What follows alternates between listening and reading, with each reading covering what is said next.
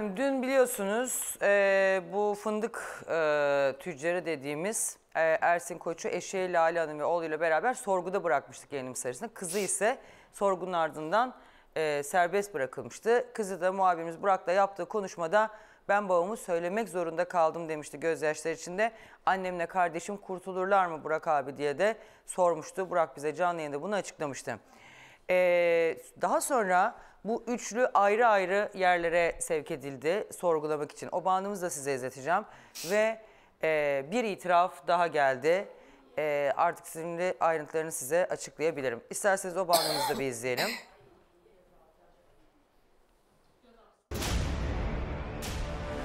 Stüdyoda operasyon. Göz altında ikinci gün. Dikkat çeken ifade. Söylemek zorunda kaldım. Sorgular sürüyor. Cinayete kurban giden Erdal Sakız'ın kayıplara karıştığı geceye dair önemli detayları araştırmacı gazeteci Müge Anlı'nın ortaya çıkarmasının ardından gerçekleşen operasyonla Ersin Koç'la eşi ve oğlu gözaltına alındı.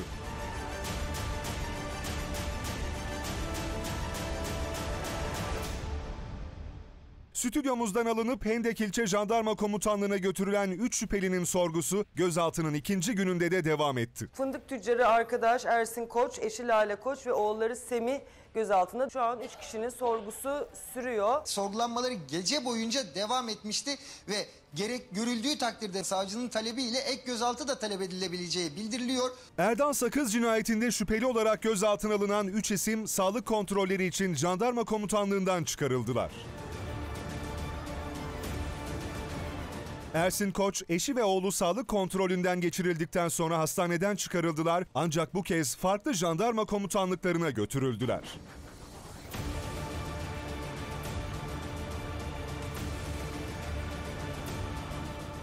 Ersin Koç arkamızda bulunan Hende'ye bağlı Yeşilyurt Jandarma Karakol Komutanlığı'na getirildi. Zanlıların birbirleriyle iletişim kurmalarını engellemek ve birbirlerinden haber almalarının önüne geçmek amacıyla bu ayrım yapıldı.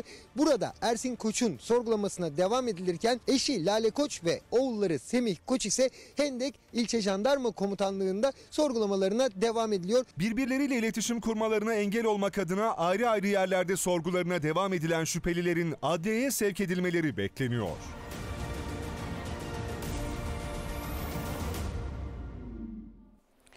Efendim, eee, dün önce kızının ne anlattığını söyleyeceğim ama eee, ilk itiraf... Şimdi öncelikle şunu söyleyeyim. Ersin itiraf etmiyor cinayet işlediğini ama eee, eşi itiraf etti. Şöyle söylüyor, Lale Koç itiraf etti. Diyor ki, eee, Erdal 3500 lirayı almak için evimize geldi. Parayı verirken benim elimi tuttu. Beni İftira öpmeye atıyor. çalıştı. İftira atıyor. Ben de buna tepki verip Yalan. bağırırken kocam Erdal'ı tüfekle vurdu. Yalan. Yalan. Yalan. Yalan. Kesinlikle yapmaz. Kesinlikle. Kesinlikle. vatanına, bir şey yapmaz köyüne abla. asla bir hainliği Babam yoktur. öyle bir şey asla yapmaz Asla abla. yapmaz. Yalan. Ben, benim Asla yapmaz. kocam bu. Ben tanıyorum. Gidin kime sorarsan Ha, sorun şu kadar İftira çocuk. atıyorlar Abla. ona. İf- Cezadan düşmek için. Namus davasına çeviriyorlar. Canavarlar etini mi yiyecektiyiz de orman çıkarttı. Ne yedik ne içtik. Öyle kediye köpeğe etini mi yedireceklerdi? Madem yaptılarsa ta başta yediler de. İçimizde geldi cenazesine girdi. Evimize girdi cenaze günü. de teselli veriyor bize. tuttu. Galleş Teselli seni. veriyor. Ayılara domuzlara mı yedirecekti? Munzur seni. Sorsun Ah, köyde bir şey varsa Namussuzluğa çeviriyorlar işi. Namussuzluğa çevirip de cezadan düşmek için böyle yapıyorlar. Müge abla, Tuncay kardeşim. Geçen sene onun ortaklık yaptığı tüccarın ismi neydi kardeşim? Geçen sene mi? Yusuf abi vardı ya hatırlıyor musun? Sarıoğulları Biraz bir mıydı? saniye dur Sarıoğulları, karıştırma. Bir dakika abla bir şey açıklayacağım. He. Lütfen. Geçen sene yine bu terbiyesizliği yaptılar tüccar kardeşimize. Nasıl? Tüccar kardeşimin ortak bir arkadaştan iş yaptı bu Ersin denen şahıs. 400 milyar parası kaybolmuş bu arkadaşın kasadan. Evet abla. Bu bayanı yine koymuş arabasına Ersin. Hangi bayanı? arka- Karısının Karısını. üstünden iş yürütüyor. Ee? Demiş ki abi benim işim gücüm var fındık alıyorum sağdan soldan. Sen bu benim hanımı hem şeye Feriz'e götürür müsün demiş. tamam abi demiş arkadaş da bu tüccar ortaz ya. Ee? Bindirmiş arabasına Yusuf abi bilmiş. dediğimiz şahıs. Soy ismini söylemiyorum. Almış Ferizli istikametine düşmüş Darışehir yolu istikametine biliyor musun? Tabii ki bu bayan kurnazlar. Şu anki anlatılan pozisyon gibi. Yalan Üzerine iftira. başını yürütüyor. Telefon açık cebinde tabii ki. Ersin duyuyor bu çığırtıları. Fışt, peşinden taksine yakalıyor olay yerinde. Dur diyor kadına arkadaş yanındaki. Ne yapıyorsun sen? Neyin peşindesin? Geliyor basıyor Ersin. Sen ne yaptın arkadaş diyor. Benim karıya mı saldırdın? Şudur budur gürültü tamam patırdı. işi öğrenmişler. Ersin diyor bak. İşi elin, öğrenmiş, elim diyor kafir. eline değdiyse şahsın diyor buna. Kafir. Git diyor mahkemeye ver beni kardeşim. Öyle bir şey yapsa kocası evde yatıyor. Niye çağırsın ki Anlıyor Erdal'ı? musun? Git diyor mahkemeye ver diyor abi.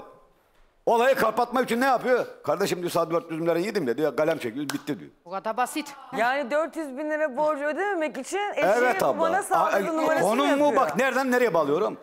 Benim amcamın oğlum zaten de 400 500 milyar 300 milyara yakın alacağı var bunda. Ne yaptı? Oradan oraya bağladılar. Elimi öptü, tırnağımı tuttu, bütürdüler işimi. Kocası Ben evde ne olan demiş adamı bir- niye çağırıp Doğru mu söyleyeyim yani? önce ne demişti? Doğru. Ha. Kocası evde Ben olan bak kaç kadın. günden beri tutunca ne programdayım. Üstüne Kesinlikle gözüne baktım şahıs kardeşim bu. Asla. Kendini aramış benim abla, kocamı madem bir saniye, benim bir kocama saniye, bir saldıracakmış. saniye. Dur tek tek aynen. Erdoğan Ha, Sakız'dan niye dedin sen çağırmış? Dur, dur. Erdoğan Sakız'ı niye sevmiyorsun dedin değil mi? Erdoğan Sakız her zaman doğrunun yanında olduğu için beni sevmiyor. Ben bir gram fındık Bir de o vermeyeyim seni öyle anlattı. Yani ben herkesi alırım ama Erdoğan'ı evime almam Aa, falan diye doğru. Ben öyle her zaman anlattı. doğrunun peşinde koştuğum için. Ha, evet bak benim iş yerimin ormanda çalıştığım nokta. Bir de Ama senin kulübenin yakınına atıyor. evet aramızda iki kilometre falan filan Köyü vardır oradan. birbirine düşürdü. Köyü birbirine düşürdü Adamı işte. nereden nereye bağlıyor bak. Şimdi şöyle dur devamını da anlatayım. İşte dediğim gibi bu parayı vermek isterken Terbiyesiz Lale'nin elini kadın da, tutmuş, terbiyesiz öpmeye kadın. çalışmış. O da ona yani çok özür dileyerek söylemiş. Şerefsiz diye bağırınca kocası da uyanmış. Yalan. Gelmiş bir onu uyuyor. tüfekle koçun aracına ateş at, açtığını anlatmış eşinin. Meğerse cinayet zaten kapıların önünde işlemiş. Parayı veremedi öyle ettiler işte. Erdal Sakız'ın aracıyla cenazenin bulunduğu yere Ersin Koç'un yani Ersin götürmüş işte cenazeyi atılan yere. Yani o arabayı kullandığı için. E peki e, hani biz demiştik ya GPS kayıtlarında kuş uçuşu 3,5 e, kilometre yoldan gidersen 6 kilometre uzaklıkta bir yerde veriyor aracın. Yok muhtara gitti falan filan diye anlatmışlar. Aslında e, almış Ersin'i işte Erdal'ı oraya atmış. E tabi nasıl geri dönecek? Ee, o gece biliyorsunuz bir de bir hastaneye gidilmişti. O hastaneye de demiştim ki ne oldu ablacığım söyle. Küfür etmeyin de küfür için kesiyorlarmış o zaman anlatamıyormuşuz yani çıkmıyormuş. Biliyorsunuz bir de o gece kızlarını bir hastaneye götürdüklerinden bahsetmişlerdi. Aynı burada konuştuğumuz gibi o hastanede resmi bir kayıt olsun. Hani biz hastaneye gittik çıktık diye bir resmi kayıt olsun diye götürmüş. Kapattılar. Zaten hastanede ben hani 10 dakika demiştim ama 5 dakika durmuşlar. Yani 5 kesip dakika giriyorlar çıkmışlar. 5 dakikada çıkıyorlar. Yani hem gece hastaneye gideceksin bayağı bir sancı olacak hem tetkik yaptırmadan Önemli dışarı olan çıkacaksın. hukuken kendilerine o saatte bir mekan tespiti Evet yaptırmak. resmi de bir delil. Biz gittik hastaneye. Mesele Bakın bu. Bütün güvenlik mesele bu. kamerasına bakın. İşte bir de kaydımız var. Hastane kaydımız diye. Ee, bu bu böyle anlatmış. Peki karşıma hani nasıl üzerinde arabanın biliyorsunuz üzerinde dört tane delik izi var silahla. Onu da araba tarağında süsü vermek için kendisi hani vurmuş e, kapının önünde Lale'nin anlattığına göre. Sonra arabayı koymuş arabanın içinden de sıkmış gene ki hani taradılar süsü vermek için. Sonra dediğim gibi arabayı bırakmışlar gelmişler. Yani Lale bunun bir e, tırnak içinde söyleyeyim kabul etmediğim bir durum namus cinayeti olduğunu kocasının kendisine Kesinlikle. kıskandığı Yalan. Buna benim de inanmam mümkün değil. Şöyle inanmam mümkün değil. Zaten bundan çekinen kadın gece saat 12'de elin adamını arayıp arayıp eve çağırmaz. bir. Çağırmaz tabii. Bence Erdoğan Bey'in anlattıkları da son derece önemli ki Bir o- saniye. onun da ifadesi alınacaktır. Erdoğan abi bir dur bir bitireyim ya. Tamam. Ee, o yüzden buna ben de inanmıyorum. Yani bundan evet bak böyle bir şey olabilir mi? Olabilir. O yüzden de zaten aranmaz adam. Zaten adam teker bayinde çalışan, içen bilmem ne bir adam. Bana ne ben niye 12'de adamı evime çağırayım diye düşünürsün. Sen de vurursun kafaya yatarsın. Sabah Ersin'le ne işleri varsa halletsinler. Bana ne ki yani? Beni ne Hele ilgilendirir? Ben sana inanır mıyım? Sen benim gözüme baksana. Eski patronunu öldürdü. Öldürdüğünü itiraf etti. Hasarlayarak öldürme suçlamasıyla hepsi birden cezaevine gönderildi. Oğlunu buldum, gözün aydın.